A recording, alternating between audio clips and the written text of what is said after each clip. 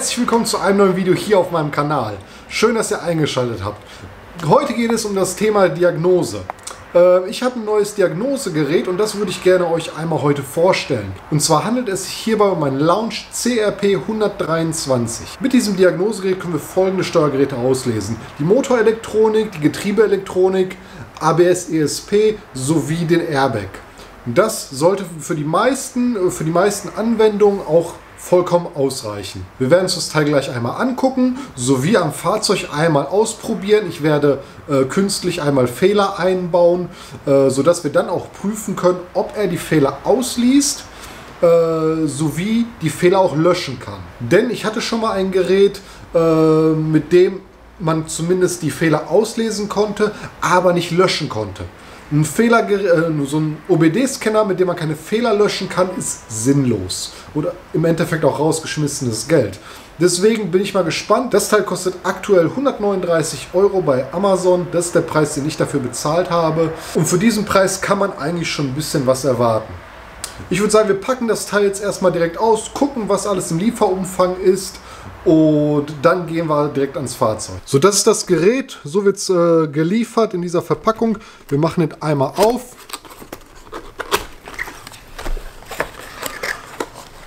Und sehen dann, wir haben hier einmal das Gerät. Haben dann einmal ein OBD-Kabel. Ein äh, USB, ein Micro-USB-Kabel. Sowie einen USB-Adapter äh, für eine äh, Speicherkarte. Sowie so ein paar Silikattütchen, damit das Ding nicht feucht wird.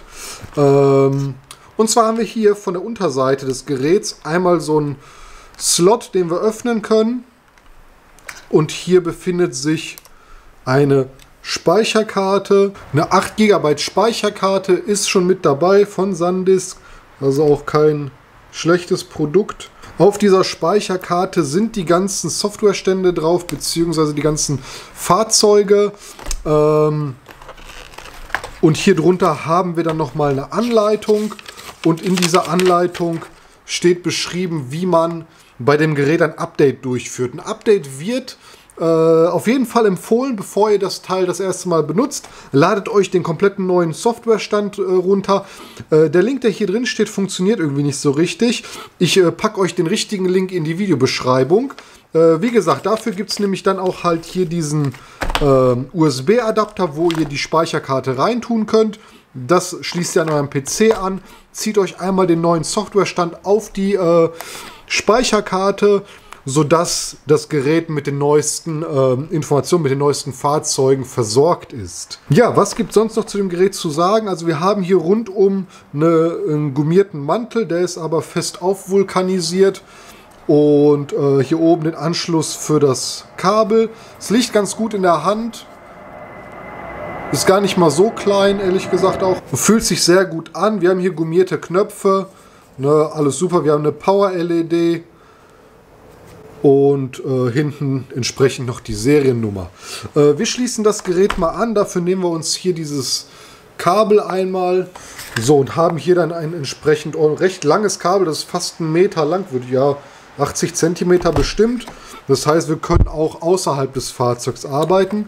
Hier noch eine Schutzkappe drauf für den OBD-Stecker. Den tun wir direkt beiseite. Und äh, ich bereite jetzt das Auto vor und dann werden wir damit einmal äh, eine Diagnose machen, beziehungsweise die Fehler auslesen und einmal durchs Menü scrollen, gucken, was das äh, Teil noch so für Funktionen hat. So, ich stöpsel das Gerät jetzt mal an. Dann gucken wir mal, wie lange der braucht, um zu starten. System startet. TF-Card wird initialisiert.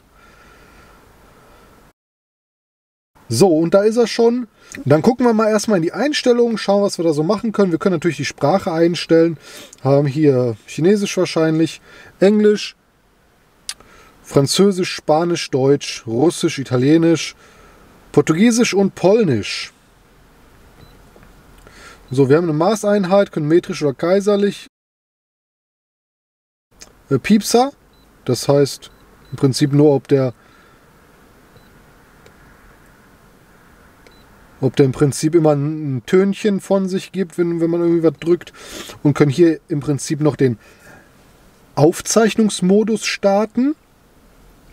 Das heißt, alles, was wir mit dem Gerät dann machen, wird auf der Speicherkarte abgelegt und dann könnten wir uns das äh, später nochmal ansehen. Zum Beispiel äh, Fehlercodes, die werden dann erstmal abgespeichert, äh, bevor man die halt dann löscht und dann kann man sie sich danach trotzdem nochmal angucken. So, Hilfe, ja, Einbaulage, Diagnoseanschluss.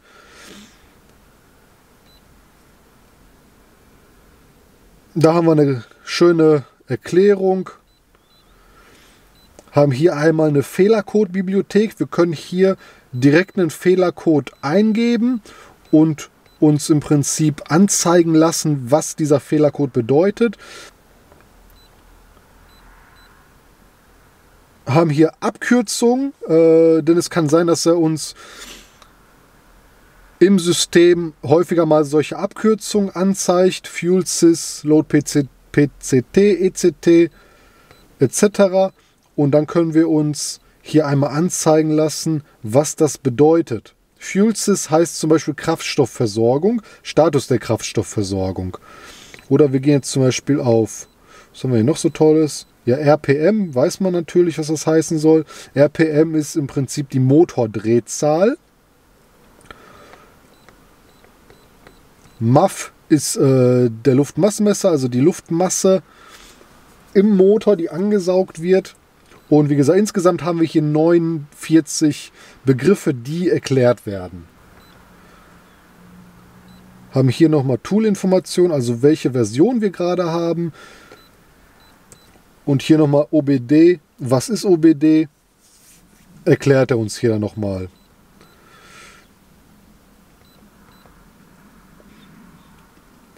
Ich habe äh, ein paar Fehler eingebaut. Äh, einmal im Motor. Ich habe eine Einspritzdüse abgezogen äh, sowie den Stecker vom ABS-Steuergerät äh, abgezogen. Und das sollte er uns dann äh, auch beides einmal hier anzeigen gleich. Ich gehe in Diagnose. Ich kann einmal die EOBD e oder OBD2-Diagnose machen. Das heißt, er fragt selbstständig alles ab und sucht sich das passende Protokoll raus, mit dem er kommunizieren muss. Oder wir gehen direkt über eine Fahrzeugauswahl da rein und hier sehen wir einmal, welche Fahrzeuge auch alle unterstützt werden.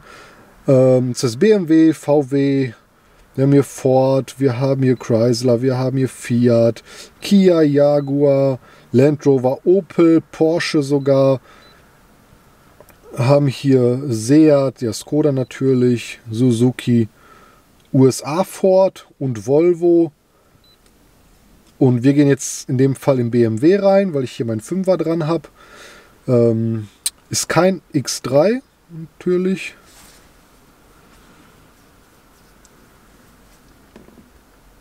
Und dann lädt er sich einmal jetzt das passende Protokoll und liest einmal die Steuergeräte aus. Kann natürlich nicht kommunizieren, weil ich die Zündung nicht anhabe. So, Zündung ist an. Jetzt soll er es nochmal probieren äh, Diagnosemodus, wir können automatischen Modus oder manuelle Auswahl machen. Das heißt, wenn wir zum Beispiel in äh, die manuelle Auswahl gehen, können wir uns direkt mit einem bestimmten Steuergerät verbinden lassen. Im automatischen Modus fragt er einfach alle vorhandenen Steuergeräte ab. Im manuellen Modus, da können wir halt zum Beispiel in die äh, Motorelektronik, in die Getriebesteuerung, ins ABS rein, Lenkwinkelsensor, Airbag, Verteilergetriebe, elektrische Servolenkung und SIM, Sicherheits- und Informationsmodus, weiß ich nicht.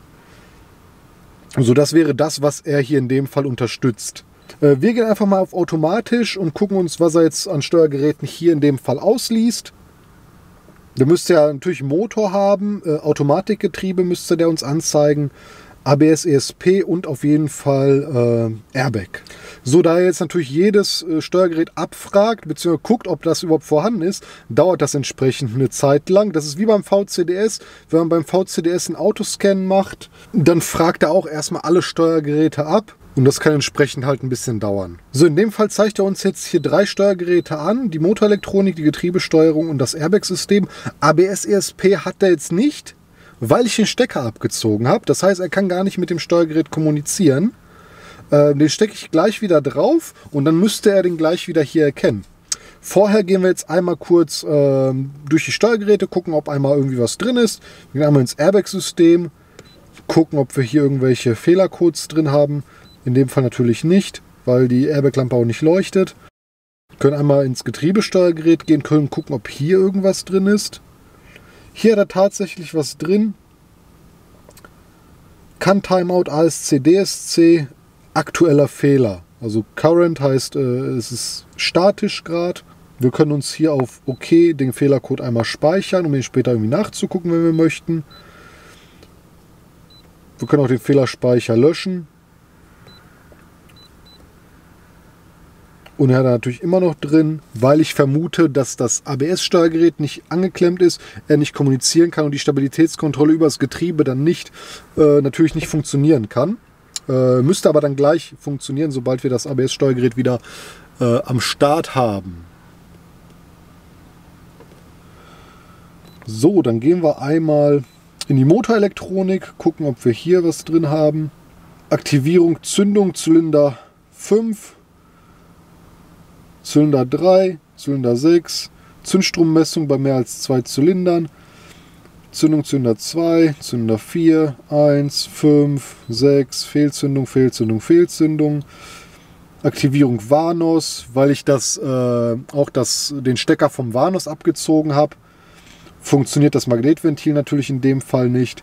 Und wir haben kein Signal vom CAN-Bus im äh, ASC-DSC, das heißt äh, ähm, Stabilitätscontrol.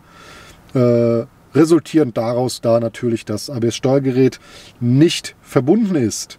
So, ich werde jetzt einmal kurz das ABS-Steuergerät wieder verbinden und gucken, dass wir dann die Fehler davon auf jeden Fall einmal löschen können. Wir mal kurz raus. Ich muss kurz eben kurz weg. So, da bin ich wieder. Wir können jetzt einmal noch mal kurz rausgehen. Können jetzt nochmal hier die automatische äh, Steuergeräteauswahl machen. Das heißt, wir haben jetzt gerade die Steuergeräte verlassen, das Fahrzeug im Prinzip, und gehen jetzt wieder rein, gucken, ob jetzt ähm, das ABS-Steuergerät auch wieder da ist. So, und wie wir sehen, haben wir jetzt wieder vier Steuergeräte, unter anderem halt natürlich das ABS-Steuergerät, können gucken, ob jetzt hier irgendwie ein Fehler drin ist. Ist kein Fehler drin, dann ist alles in Ordnung. Ähm, können jetzt einmal kurz ins Getriebe reingucken, ob der Fehler da ist. Okay, er ist da. Wir versuchen jetzt mal zu löschen und gucken jetzt nochmal. So, Fehlercode ist raus, da die Kommunikation zum ABS-Steuergerät wieder vorhanden ist. Äh, Motorsteuergerät, gucken wir nochmal kurz die Fehlercodes. Haben jetzt noch 10 Fehlercodes hier übrig. Weil die beiden ABS-Fehler raus sind. Können hier einmal den Fehlerspeicher löschen. Und haben keine Fehlercodes mehr. Bis dahin funktionieren im Prinzip alle Geräte, die löschen die Fehlercodes und zeigen sie erstmal nicht mehr an. Wichtig ist jetzt, ob der Fehlercode wirklich gelöscht ist, das äh, erfahren wir halt nur, wenn wir jetzt das System nochmal neu starten. Das heißt, komplett rausziehen und einmal Zündung aus, Zündung ein und das ganze Gerät einmal von neu starten. Das hatte ich nämlich schon mal gehabt. Das zeigt er an. Oh, cool, Fehler gelöscht. Aber in Wirklichkeit war der Fehler gar nicht gelöscht. Deswegen testen wir einmal hier, ob er das macht.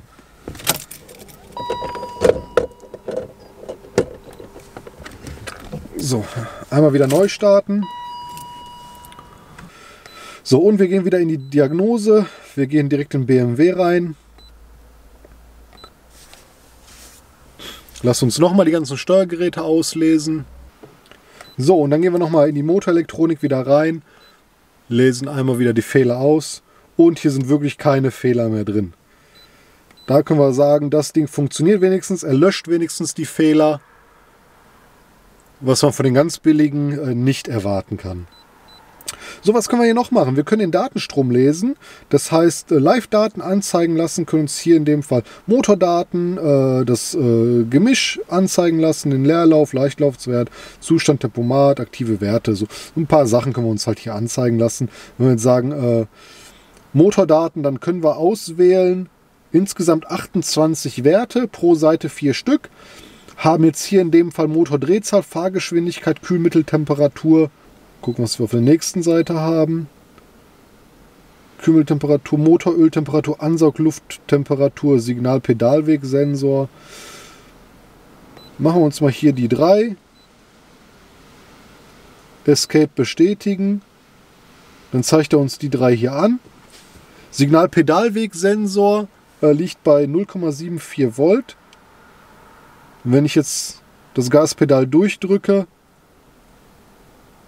geht er bis auf 4,6 Volt hoch.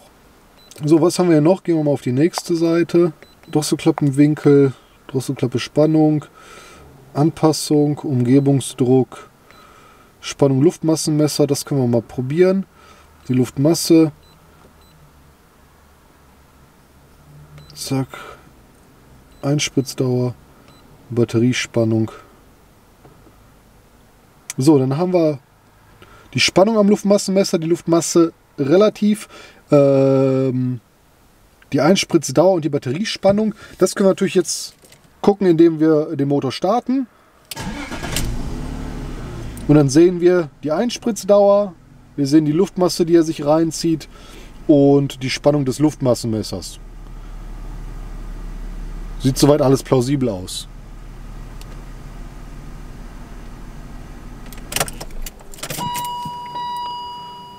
So, entsprechend gehen natürlich die Werte wieder alle runter.